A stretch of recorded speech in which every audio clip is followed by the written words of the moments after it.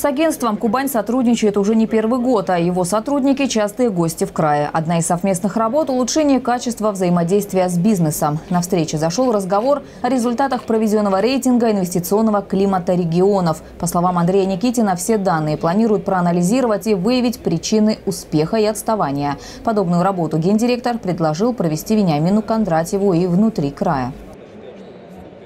Я бы тоже рекомендовал эту работу все равно включиться, выбрать одну из четырех вот этих АБЦД, как бы, да, где вы считаете, что просто сразу посмотреть, почему у кого-то плохо, у кого-то хорошо, вы получите очень серьезный объем фактуры, как можно действовать, вот набор вариантов, да. Я хочу сказать конкретно к своему региону. Не останавливаясь на достиг. А для этого нужно взгляд со. Поэтому, конечно, здесь вот ваша вся команда нам помогает просто, знаете, не самоуспокоиться, понимать, где мы сегодня и понимать, что мы можем завтра.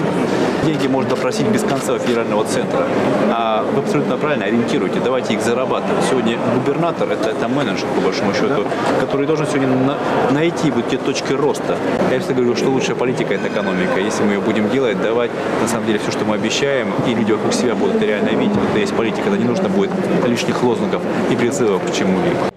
Кроме того, обсудили на встрече и необходимость привлечения к развитию территорий местных инвесторов. Как отметил Вениамин Кондратьев, сейчас Кубани важно уйти от статуса сырьевого региона и сделать акцент на переработку и производство. По словам главы региона, с краевыми инвесторами, которые пойдут по этому пути, власти готовы сотрудничать в ручном режиме.